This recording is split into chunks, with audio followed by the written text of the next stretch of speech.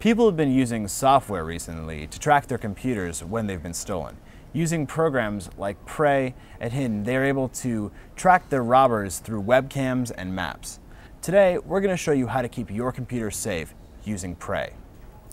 After you sign up for an account, Prey takes you here to the Control Panel.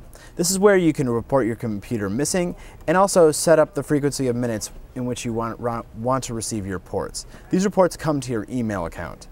So also, there is some important information which you can gather here. Prey uses the internal GPS of your device to locate the nearest Wi-Fi access points and figure out exactly where your computer is.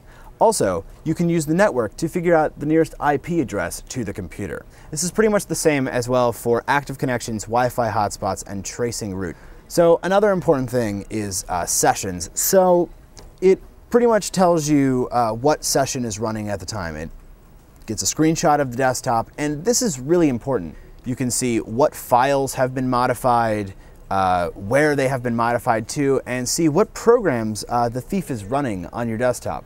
And another really neat feature in this is uh, you can turn your webcam on and see your thief, see his face, see he or she's face right there in front of you. You want to use a program like Prey to gather information to give to the police, not to track down the burglar yourself. That can be unsafe, unwise, and dangerous.